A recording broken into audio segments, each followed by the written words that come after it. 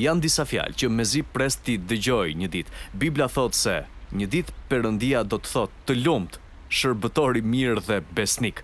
Dhe kur jeta të mbarojë, unë dua ta di që e kam bërë atë që jam krijuar të bëj, që kam qenë ai lloj personi që Perëndia donte që unë të isha.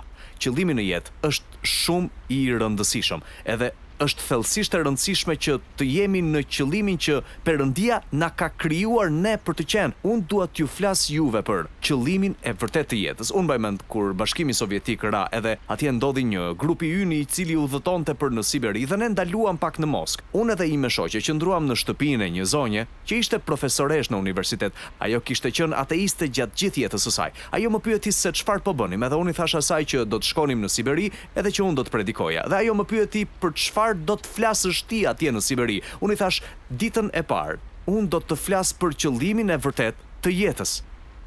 Edhe nuk do ta harroj asnjëherë shprehjen e saj.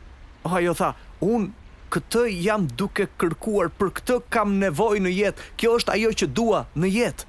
Edhe e dini, ajo zonjë shprehu hapur atë që ishte në zemrën e shumë njerëzve nëpër të gjithë botën. Shumë njerëz nuk e dinë qëllimin e tyre në jetë. Tani ekzistojnë tre lloj njerëzish, që unë kam zbuluar, kur flasim për qëllimin në jetë. Së pari, ka njerëz që nuk kanë asnjë qëllim në jetë. Edhe ata janë më të humburit, më të mjerët. Ata janë si një njeri i cili ndodhet në mes të Nju Jorkut edhe ai shkon tek një polic edhe i thotë a mund t'më tregosh se si të gjej rrugën time edhe polici i thotë po mirë ku dëshiron të shkosh edhe ai thotë unë nuk e di polici nuk mund ta ndihmojë atë person sepse nuk e di se ku është nisur ai njeri në jetë ai është i humbur më pas ekziston një lloj i dytë personi Edhe ky është personi që ka një qëllim në jetë, por ka qëllimin e gabuar në jetë. Ai është një person që ka një shkallë dhe e vendos atë shkallë mbështetur pas një muri. Ai ngjitet në të me shpejtësinë që ai mundet, por kur ai arrin në majë, ai mëson se e ka mbështetur shkallën në murin e gabuar.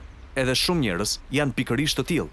Ata ngjisin shkallën për suksesin, për famën, për pasurinë dhe të gjitha këto gjëra, por ata janë bosh nga brenda, nuk kanë një qëllim. Edhe më pas ekziston një lloj i tretë, i personit i cili ka gjetur qëllimin e vërtetë në jetën e tij.